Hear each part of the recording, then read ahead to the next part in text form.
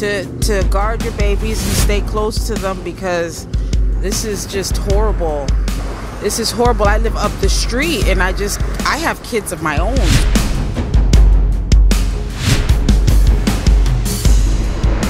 Being a parent or giving birth to a child may be very expensive, and in this tough economy and horrible times we're living, where there's no money available, shouldn't mean that you should result to throwing the baby in a dumpster and then later to be found dead by police. I believe in these tough times, this bad economy is making more parents resort to this type of, uh, you know, nature. Absolutely. Absolutely, but there's resources everywhere.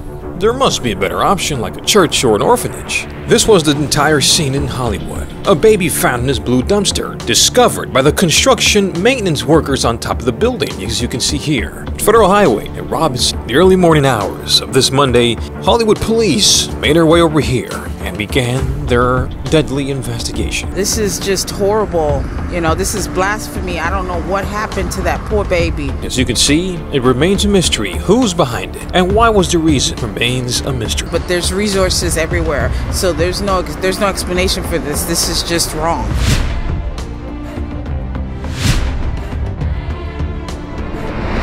Hollywood police on scene. Still got the medical examiner. You can see that that dumpster they're looking into to really get to the bottom who did.